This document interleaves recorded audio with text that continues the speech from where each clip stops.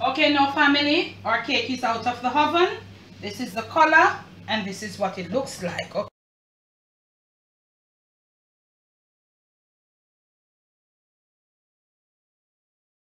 Hey everybody, how y'all doing? Are you hey okay? In the neck of the woods? What up? What up? Manners and respect man. I your girl, Debbie from Dung a Yaad. Welcome you all to the Christmas kitchen. Welcome once more to the Jamaican cooking journey. All of you are new right on over here, special welcome. Thank you so much. Those of you who were there from the beginning, manners, manners and respect. Aye, Christmas make me can't but that Christmas thing. Now today, what I'm going to share with you is to prepare, how to prepare a sorrel cake. Yeah, sorrel cake. And just get right in with me. We're going to be using some butter. Use your butter of choice, the, the margarine. Use your margarine or your butter of choice. Okay, I am in Jamaica. I've got to use what I can get and most of all, what I can afford and also what has worked for me over the donkey years and it never do me nothing. Okay, now to this you're gonna want some really fine brown sugar. And if you can't get your brown sugar, because I am like or the compact one, if you can't get it, you can, what I did, because me get the one with the granules of coarse, so I just put it in my food processor and put it on high for about three minutes, let it run. So I got, you know, I get this. So you want to put in about three quarters of a cup. You know, want, not only, do not put a lot of sugar in the cakes. I say to you all family, go low on the sugar. Sweetness does not mean that you're going to enjoy it. Sweetness is not flavor. Okay? Go low on the sugar with your fruit cake or your cake you just go low. Make, when you're eating a cake, you can't enjoy it. You can't yam because it's not too sweet. Okay? So I have my um me if you have a um a KitchenAid um blender a KitchenAid um mixer you might can just put it in there and use it because you know the mixer they powerful but if you don't have one like mine you just run the sugar in the food processor. You don't have no food processor can never have no neither. You just put it in a cheese some stronger and just give some slap. Just beat it up. So we are gonna go now and you know how to do that. We are gonna go now cream or sugar and or butter. We have got here five medium eggs. I them a little bit? But you can use three. If they're extra large you can use three. Them big big big. And if them little small little bigger mine you use four. I'm using five of these. Of course it's sorrel cake so you have got to have some sorrel um, puree.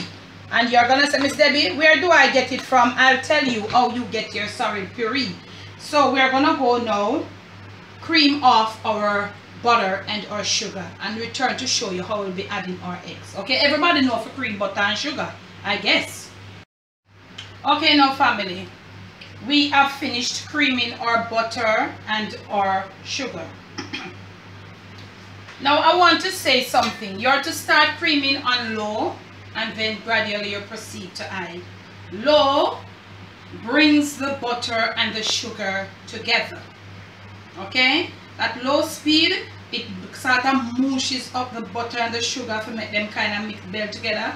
Then as you go on high it starts creaming so you see this almost look like a KitchenAid one why it looks like that? So when you cream it and you hold it it's not supposed to take forever to fall off on the, the, on the spoon or the spatula. You know? It's supposed to fall off easily. So you cream it until it come to that to to to to to to to, to, to that um part or to that i don't know some words. So our consistency. Cream it until you have it falling off easily. That's the butter and the sugar because sometimes when you don't give the butter and the sugar enough treatment you don't cream them long enough for them to come together to a certain consistency and you start adding the eggs then some little sitting start get wrong in the cake. You know all kind of little stupidity go on. But how we do we know. As you go you will grow. So cream it until it comes you know until it comes to this. So now we're gonna be adding our eggs and can i say something to you i think i'm going to make a video and talk about that one in adding the eggs one at a time you know and not over beating because i am not in for that okay but we're not going to discuss that right now this one at a time and when you add it one at a time, you won't overbeat the eggs. Me not in panda one day. What do you think about that? You know, but let us leave that for another time, okay? So I'm gonna add my little one then. Two at a time or three. If three get in, then that's a god thing now. Okay, so now that you drop your eggs in, you want to do it on like a sort of medium, low to medium, not high for beating in the eggs. You don't want to beat up them too much, you know. So we're going to go now and get the egg them beat out and come back to you, eh? Okay, now, two, we have our eggs and um our um beat in, okay? Now, we want to put in some flour at this point. At this point, we want to put in some flour. And I tell you how much flour you know better watch when me I put in here so right now. I always say to you, sift your flour. When you sift your flour, whilst going in there it becomes lighter. Therefore, hair will be trapped inside the cake and you get a better taste, tasting cake every time. So, I put sift out the flour. And that's the first of our dry ingredients, the flour. We're gonna, I'll leave everything for you in the description. We're gonna be putting in some mixed spice. And I tell you all the while, not put in a whole heap of mixed spice up there, you see? Because it's bitter. Okay? So I've just put in a little mixed spice. I'll tell you how much in the description. I'm gonna go now, add my baking powder, a little salt. I'll leave all of that in the description and some cinnamon powder. I will let you know. These are all the dry ingredients. We soon come. Okay, now family, we are back. We have preheated our oven to 165 degrees Celsius. If you're using Fahrenheit 330, we want we don't want this cake to bake on too much of a high, you know, high temperature. We want it to go slow. So dry ingredients all into this um this um creamed mixture. So you know the norm. You must cut and fold. Okay? Cut and fold as you go along. Once the dry ingredients has been added, once it is, because sometimes you add the dry ingredients to the cream mixture, which is the wet mixture. But sometimes in baking, you have got to add the, the wet one to the dry. Okay? So whatever you do, once you do it that way, sometimes you not you don't normally have the dry to the wet. Sometimes it's the wet to the dry. So when you're having the wet to the dry, you know how you are to do it. Cut and fold it just the same. Okay? So you cut, cutting and folding in, it enables it not to have any lump when the cake bake. You know, see the white flour lump, them out that skin out then teeth with your like kidney furrow. It doesn't look good. It's not a good look. It's not cute. Okay? So you cut and fold until you don't see no more of that white flour something. Okay? So you see how I'm doing it fast, but so look at it. You cut and you fold. Cut, fold. Cut, fold. Now, we're going to be putting in some of the sorrel chutney maybe not all and you're to choose a red red sorrel try to get one that is of a good good good type of sorrel so let us fold in this sorrel chutney. And make we go we fold it in and how it look eh? let's fold it in your face. Huh? Seems like we might want all not sure. Same cutting and folding. Cutting and folding. And we're going to put all of it in there.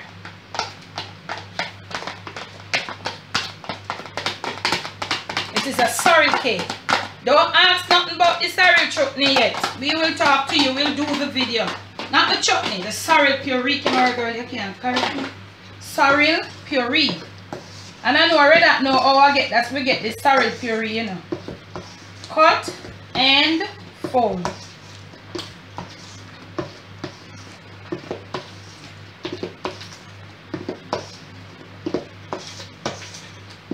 Now we have a little fruits here. It's optional if you want to because this sorrel puree, you know, it has in the ginger and all of the nice flavor from the sorrel, you know. So this this good. So we're going to put in a little fruits. We're gonna add a little vanilla. Okay? And we're going to cut and fold right back in.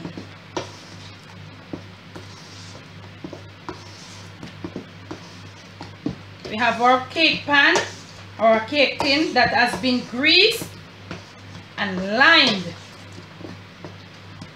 Now we are going to be putting in some chopped nuts. Use your nuts of choice. I'm using a little almond or almond. So me I put in just to make it nice. Got a Christmas thing, you know. So that's okay. If you want to go more, you go more. We just want to make the thing nice, eh? Look at this. If you want a little more, you can put it in to make a little nutty too, you know. Because I feel like I'm going to put in a little more because when I eat that cake, I feel like a crunch. What do you say about that? Tell me something about that. What you look oh, about other cake you look? Come on, girl. You like the cake? Look at it. This you see the this is the you, look at it. Look at the texture of the batter. This is how you want the batter. You don't want it stiff and stand up like it in a stiff jacket. Okay? And you don't want to put a lot of flour in there. Okay? Alright. So, look here. We have a pan, all grease, all line. Ozzy did that for me. He does a good job when I'm baking. He always grease and line my things and then never stick. I hope it not stick you know, Ozzy. Now come on camera. I think we're not to see him. But pray. Now, we want to taste.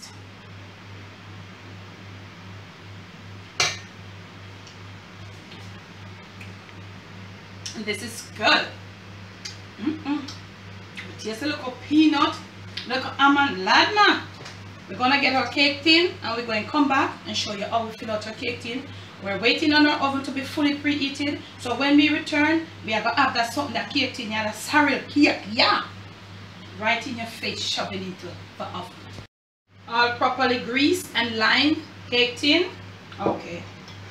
So I'm gonna put now remember you have to fold it all the way up. Depends on the amount. I, but I'll give you. I'll give you. And I think all of this can go into mine. Yep. This is the this is an original 10 inch cake tin. Cause some of them sitting over them I no tell you about a 10 and 9. Hi, hello. If you're glad for your age, if you're my age and a little older a little younger, please comment. Be glad for my age, you know, cause them sitting here with them I tell we nowadays, them now work good enough with me. Look here. Right in your face. Hi. Hello. Do not take this thing and slam it down. Don't. Just gently leveling it off. Yes. So this is an original 10 inch cake tin. This cake tin is older than my daughter camera girl. Okay. So we have it here almost three quarter because we have to give it room for rice because we have the baking powder we have the raising agent. So we're gonna go in on 165 it's almost supposed that that pre preheat signal supposed to come off in the middle of the oven right there. We're gonna leave it gently. Close your oven try not to whilst the in the first half an hour to 45 minutes try to keep away from the oven. Do not try to be working on the stove top to be jerking the stove or else you might get a fall in the cake or some dent or something. Just for the first 45 minutes let us see what will happen. 45 minutes time it will not bake in 45 minutes you know. maybe about an hour and 20 minutes okay? But 45 minutes or 50 minutes time we return or maybe an hour to see what it looks like. We soon come okay now family our cake is out of the oven. This is the color and this is what it looks like okay? We have a little sort of little crack in here but that's it's the nature of the cake. It's not anything else to do with it. But as it cools and get back back into gear everything will just come out. So the very first thing we want to do is to test if the cake is baked so we, we don't turn our oven off as yet you know so you want to use this says here it says cake tester. That simply means your cake tester must be of this size. Your cake tester not be not like this, and I have spoken this so many times, so, so many times on the Jamaican cooking journey. And I hope people are into it because you may never know. This might be a question for further giveaways, okay? So make sure you're in. This is a no-no to be putting this size thing in there. A toothpick if you have got one of those um what's that thing there um camera girl? The um the thing that we use to do the skewer. Skewer toothpick or better yet the cake tester.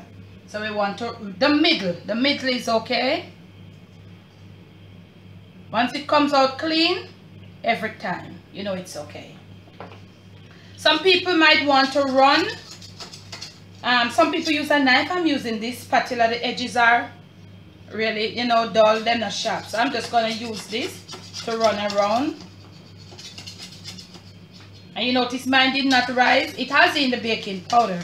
But the nature of it is that it's weighty. This cake is really weighty. So you won't get it coming up, up. Because that sorrel puree, it's really weighty. It's heavy.